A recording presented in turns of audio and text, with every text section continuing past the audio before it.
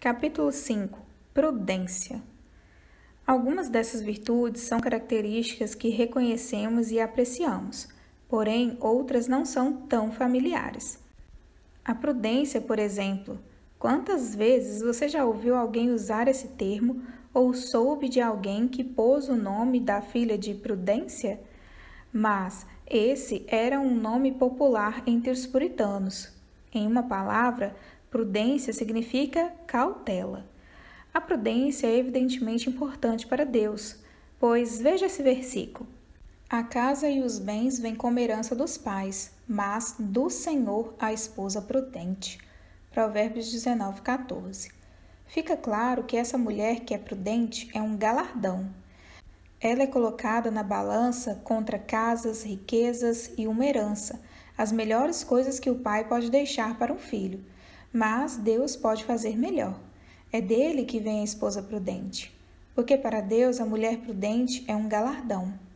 Atentemos a essa virtude e descubramos o que está envolvido na prudência. Intimamente relacionada ao termo prudência está a discrição, e um geralmente é usado para definir o outro. Deus não tem coisas boas a dizer para a mulher indiscreta. Veja, como joia de ouro em focinho de porco, assim é a mulher formosa que não tem discrição. Provérbios 11, 22. Não consigo pensar em algo mais ridículo do que um porco usando joias. É a isso que uma mulher indiscreta, embora bela, é comparada. Eis mais um motivo para esforçar-se para descobrir o que a prudência e a descrição são e como adornar-se com elas de forma apropriada. A prudência e a descrição geralmente são mencionadas juntas nos mesmos versículos, como em Provérbios 8:12.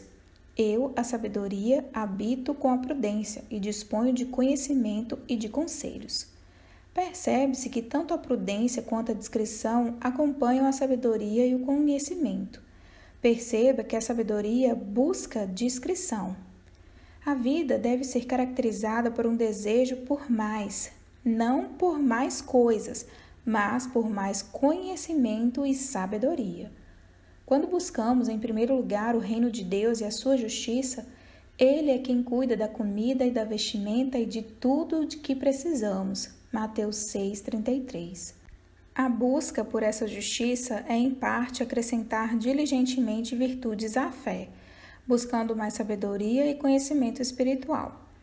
Pense na sabedoria e na prudência como companheiras de pesquisa lendo livros densos e grossos, repletos de sabedoria e conhecimento oriundos da piedade. Assim é a esposa prudente. Vejamos mais algumas características da discrição e da prudência. A discrição do homem o torna longânimo, e sua glória é perdoar as injúrias. Provérbios 19, 11.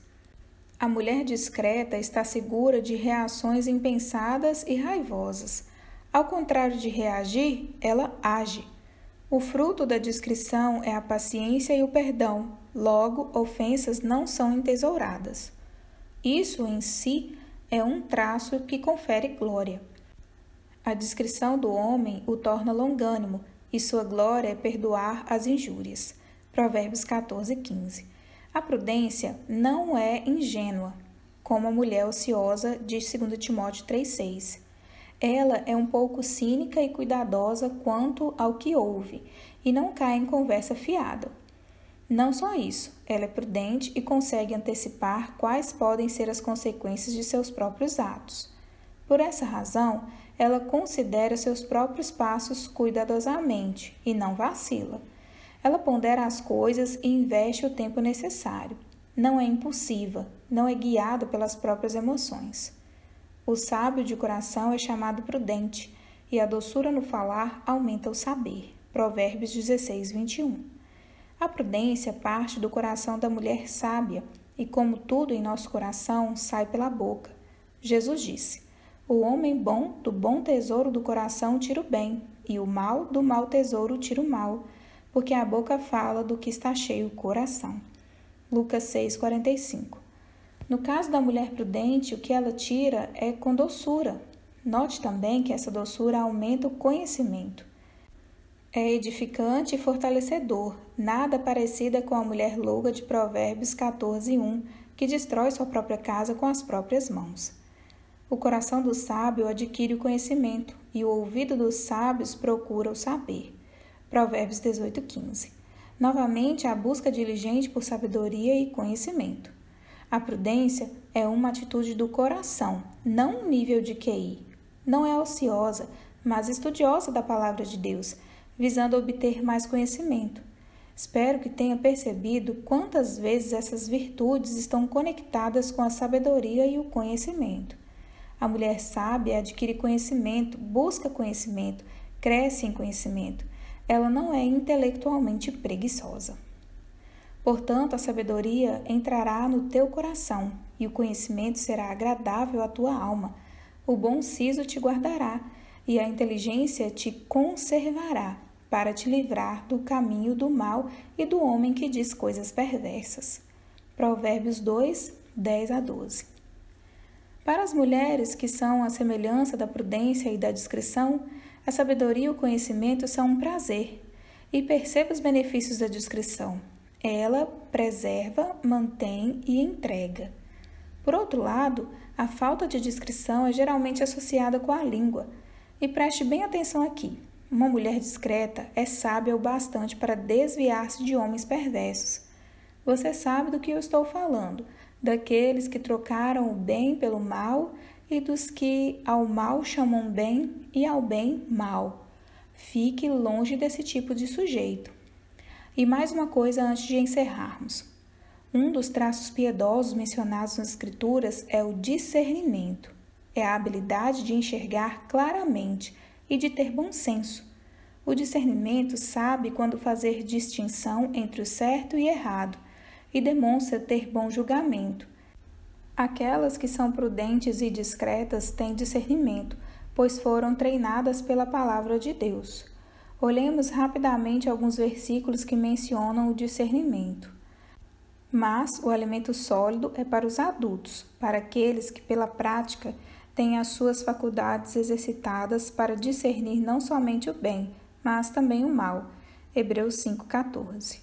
Ora, o homem natural não aceita as coisas do Espírito de Deus, porque eles são loucura, e não pode entendê-las, porque elas se discernem espiritualmente. 1 Coríntios 2,14 Porque a palavra de Deus é viva e eficaz, e mais cortante do que qualquer espada de dois gumes, e penetra até o ponto de dividir alma e espírito, juntas e medulas, e é apta para discernir os pensamentos e propósitos do coração.